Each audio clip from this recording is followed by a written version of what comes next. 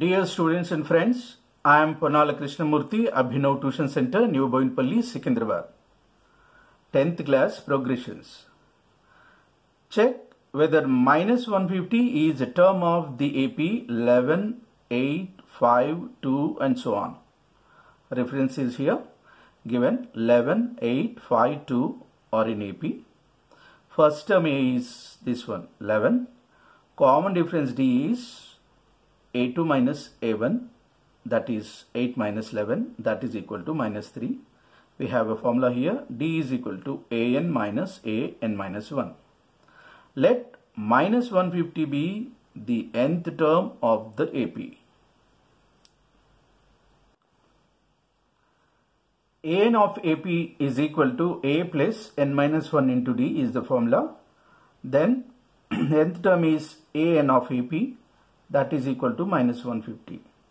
So A plus n minus 1 into D is equal to minus 150.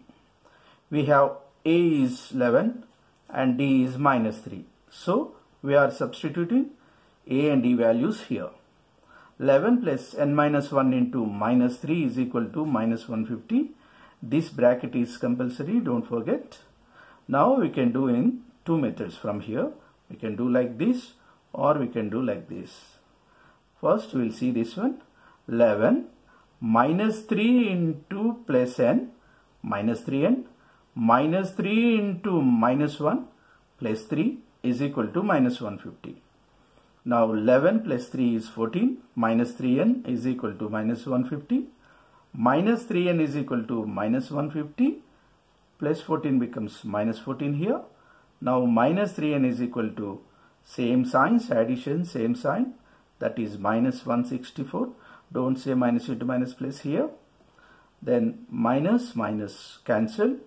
3n is equal to 164 n is equal to 164 by 3 we cannot cancel 164 by 3 so we will get 54 2 by 3 in this method, n minus 1 into minus 3 is equal to minus 150 and this plus 11 becomes minus 11 after coming to the right hand side. Now n minus 1 into minus 3 is equal to minus 161.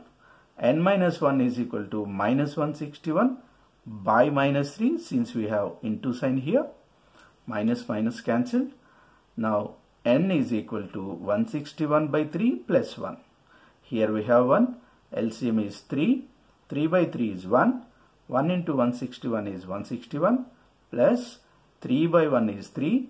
That 3 into 1 is 3. So n is equal to 164 by 3. That is nothing but 54 2 by 3. So number of terms cannot be 54 2 by 3. Here n is not a positive integer. Therefore minus 150 is not a term of the given AP.